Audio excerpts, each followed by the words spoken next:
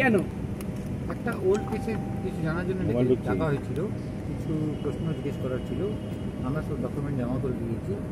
The case is two thousand ten case which was cost by the high court and তার জন্য কিছু information জানার জন্য ডাকা হয়েছিল। রোজ ভ্যালির সঙ্গে কোনো টাকার লেনদেন হয়েছিল? মানে হ্যাঁ হয়েছিল। আমরা ওনাকে ছবি দিয়েছিলাম। তার আমরা টাকা দিয়েছিলাম যেমন একটা ব্যবসায়ী ট্রানজ্যাকশন করে সেরকম আমরা করেছিলাম। তাদের সঙ্গে তো একটা মামলাও চলছিল আপনার। হ্যাঁ সেই সেই মামলাই তো কথা সেই মামলাই তো কথা বললাম। তাদের সঙ্গে একটা মামলা চলছিল। সেই মামলাটা দু হাজার চোদ্দ সালে ইফ নট রং দু হাজার চোদ্দ সালে হাইকোর্টটা কস করে দেয়। তারপরে সুপ্রিম কোর্টে সেই মামলাটা যায়। সেখানেও হাইকোর্টে হাইকোর্টের যে রায়টা সেটাই রায়টা বহাল। সেটাই অ্যাপেল আচ্ছা সমস্ত নথিপত্র জমা দিয়েছেন একদম।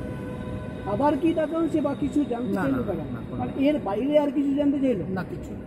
দশ সালে ব্র্যান্ড ভ্যালু কমিউনিকেশন যেটা গৌতম কুণ্ডু কোম্পানি ছিল তার সাথে ভেঙ্কটেশ ফিল্মের একটা এগ্রিমেন্ট হয়েছিল।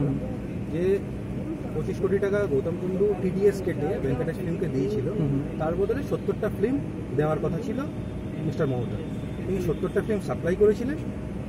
তখন গৌতম কুণ্ডু বলেছিলেন কিছু ফিল্মে টেকনিক্যাল এরার আছে বলে একটা ক্রিমিনাল কেস উনি ফাইল করেছিলেন মিস্টার মমতা শ্রীকান্ত মমতার এগেনস্টে তো দু হাজার চোদ্দ সালে অনারেবল হাইকোর্ট সেই উনি যে গৌতম কুণ্ডু যে শ্রীকান্ত মমতার উপরে যে কেস করেছিল চিটিংয়ের কেস সেই কেসটা কশ করে দেয় এবং সাবসিকুয়েন্টলি তাই সেই অর্ডারের এগেনস্টে গৌতম কুণ্ডু সুপ্রিম কোর্টে যান এবং সুপ্রিম কোর্টও সেটা ডিসমিস করেন গৌতম কুণ্ডুর অ্যাপ্লিকেশনটা তো সেই জন্যই আমাদের কিছু নথির কাগজপত্র কোর্টের অর্ডার দেওয়ার জন্য ডেকে পাঠিয়েছিলাম মিস্টার মমতা। কি কি আজকে কাগজ? আজকে আমরা কোর্টের অর্ডারগুলোই দিলাম। কোর্টে যেটা হাইকোর্টের অর্ডার যেটা সুপ্রিম কোর্টের অর্ডার আমরা সেই ডকুমেন্টগুলোই দিলাম। তার সাথে এক্সপ্লেন করে দিলাম এই ফ্যাক্টস ফার্দার এনি কোনো পেপার না না না।